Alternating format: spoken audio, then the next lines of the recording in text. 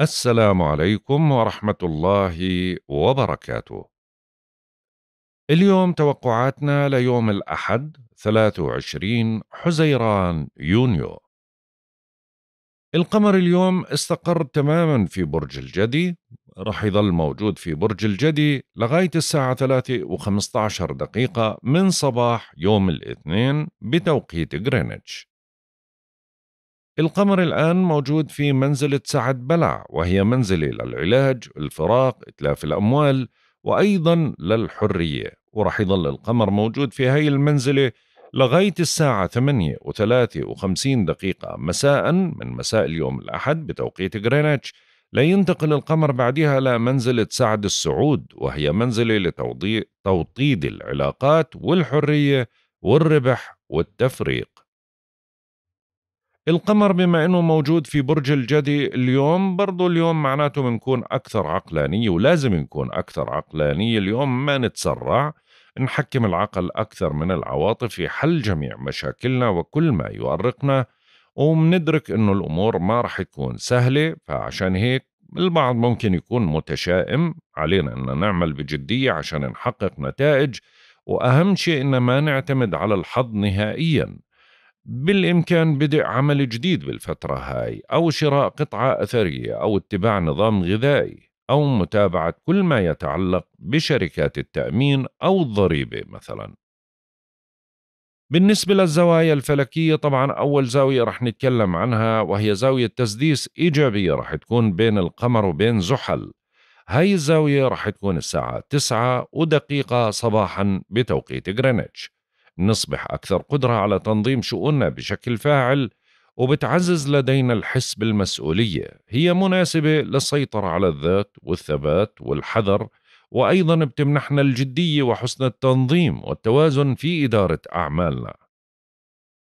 أما بالنسبة للزاوية التي تليها وهي زاوية تثليث إيجابية بين القمر وبين أورانوس هاي الزاوية راح تكون الساعة 7 و19 دقيقة مساء بتوقيت غرينتش. بتعزز قدرتنا على استغلال المناسبات الاجتماعية والاستفادة منها وممكن يفاجئنا البعض بشيء غير متوقع وممكن يصدر منا ما هو غير متوقع اتجاه البعض كذلك. بالنسبة للأعضاء اللي في جسمنا الأكثر حساسية واللي لازم نوفر لها العناية الإضافية وما لازم نعمل عمليات جراحية كبرى لإلها إلا إذا كانت اضطرارية طبعا عندنا الركبتين والمفاصل العمود الفقري عضلات العمود الفقري الردفة العظام الأسنان الأوتار والأربطة والجلد والشعر والطحال وجهاز التوازن. باقي أعضاء الجسم طبعا إذا كانت اضطرارية العمليات ما في أي مشكلة ولكن العمليات اللي ذكرناها ما بنصح نهائيا للعمليات الجراحية لها وأيضا هذا اليوم غير مناسب لعمليات التجميل مثل الحقن أو الجراحة ولكن أمور بسيطة ما بتهيج الجلد أو ما بتعمل مضاعفات للجلد أو للشعر ما في أي مشكلة لإلها. أيضا هذا اليوم لا يصلح لإزالة الشعر الزائد بالليزر ولكن بالطرق التقليدية وبرضه ما يكون لها مضاعفات على الجلد ما في أي مشكلة.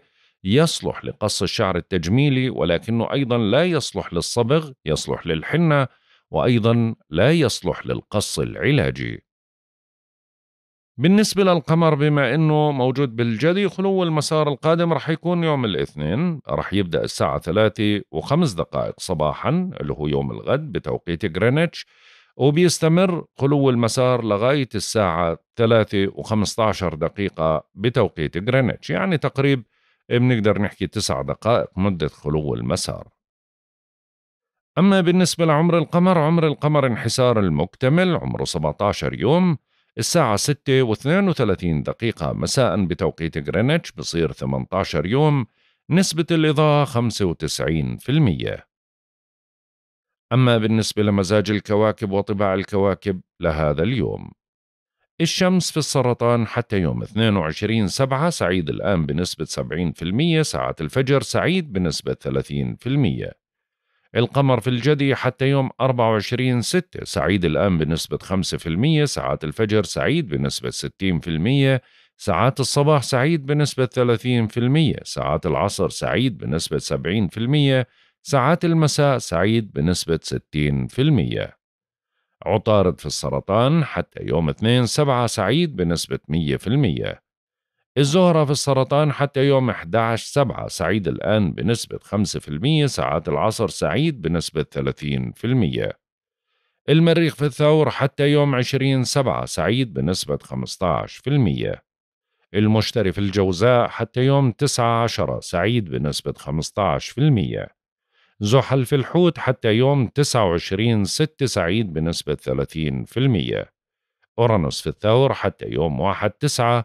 سعيد بنسبة 30% ونبتن في الحوت حتى يوم 2 سبعة سعيد بنسبة 15% وبلوتو في الدلو بيتراجع حتى يوم 2 تسعة منتحس بنسبة 10% وصلنا للتوقعات اليومية. برج الحمل.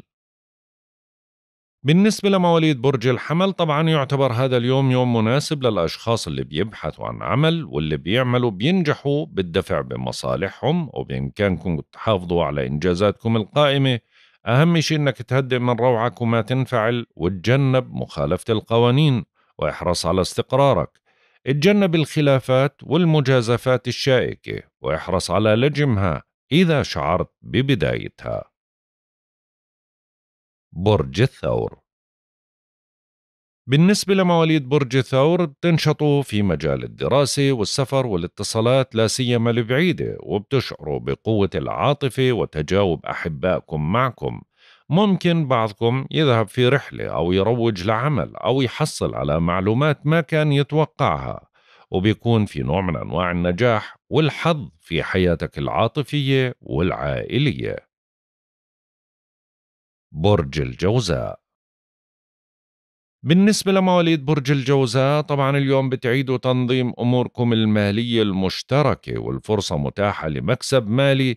مع هيك بدكم تخففوا من النفقات المتصاعدة وسارعوا لتهدئة الأجواء. هاي فترة مناسبة للاطلاع على آراء الغير. ممكن تتلقى مساعدة أو تعاطف عليك أنك تتحلى بالليونة والتفكير الموضوعي.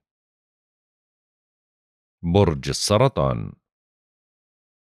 بالنسبة لمواليد برج السرطان طبعا هذا اليوم يوم مناسب لتعزيز شراكاتكم سواء في مجال العمل أو العاطفة وبوسعكم إتمام خطبة أو زواج أو توقيع عقد تجاري أو مصالحة ما بينكم وبين الأزواج. وهي برضو لا تنسوا أنها فترة فيها نوع من أنواع الضغط ما بينفعك فيها سوى الصبر والمرونة ممكن تتعرض لمضايقات أو خلافات ضبط الأعصاب مطلوب. برج الأسد.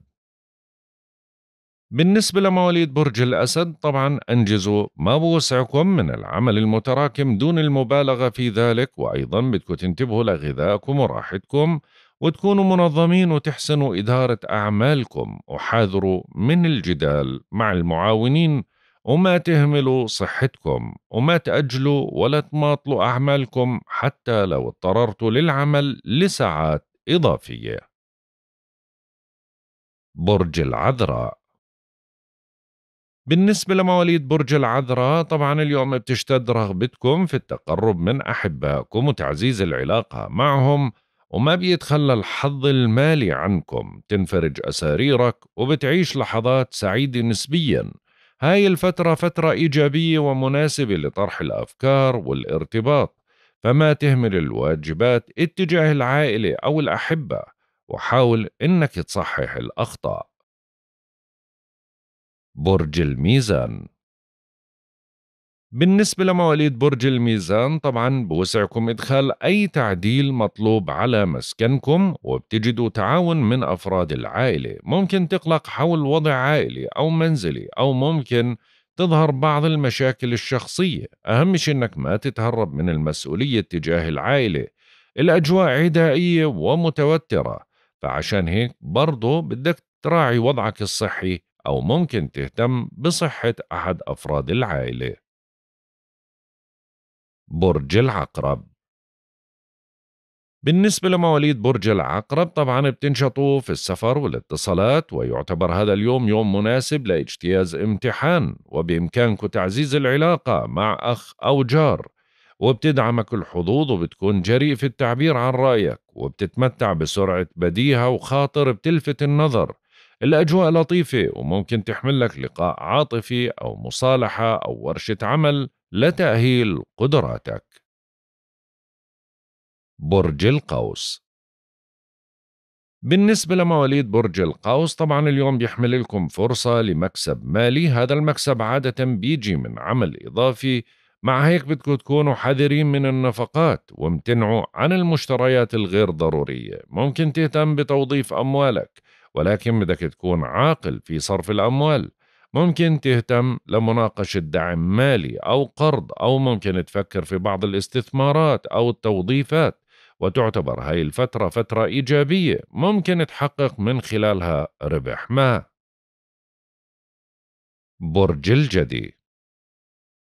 بالنسبة لمواليد برج الجدي طبعا ثقتكم بأنفسكم كبيرة وبعمكم النشاط وبإمكانكم تبادروا لخطوة جديدة تدعم من مكانتكم الاجتماعية.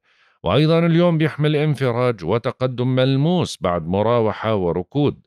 عليك التحلي بالحكمة وواقعية في حل بعض الأمور وبتشتد عزيمتك وبترتفع المعنويات وبتستعيد سيطرتك وممكن تحقق نجاح باهر إذا ركزت. برج الدلو بالنسبة لمواليد برج الدلو طبعا من الآن وحتى صباح الغد أو فجر الغد القمر ما زال موجود في بيت المتاعب. فعشان هيك يعتبر هذا يوم آخر بيتطلب منكم الانتباه بشكل جيد لصحتكم وعدم المبالغة في إنجاز ما لديكم من عمل متراكم. بتهدأ وتيرتك لحد الركود. ممكن تلغي مشاريعك أو تعاني من تراجع معنوي أو صحي. أهم شيء إنك ما تحسم أي أمر لأنها هاي فترة سلبية ومخيبة للآمال وممكن تندم على أي خطوة بتقوم فيها. حاول إنك تعمل بشكل روتيني. برج الحوت. بالنسبة لمواليد برج الحوت طبعا بوسعكم تعزيز صداقاتكم اليوم ومنكم أشخاص ممكن يحققوا أمنية بمساعدة صديق ومنكم أشخاص ممكن يشاركوا في مناسبة سعيدة. وبتتسع الآفاق وبتحتفل بنجاح أو تطور علاقة ما أو ممكن تعزز شعبيتك وتحصد أرباح وبتفرح لوقوف أحد الأصدقاء أو الأقارب لجنبك. وبتخف الضغوط وبيطمئن بالك ولكن زي ما ذكرت في حلقة الأمس حاول قدر الإمكان تنجز كل أعمالك الضرورية والمهمة خلال هذا اليوم. هيك منكون انتهينا من توقعاتنا لهذا اليوم. والله أعلم. يا رضا الله ورضا الوالدين سبحانك اللهم وبحمدك أشهد أن لا إله إلا أنت أستغفرك وأتوب إليك. أترككم في رعاية الله وحفظه. إلى اللقاء.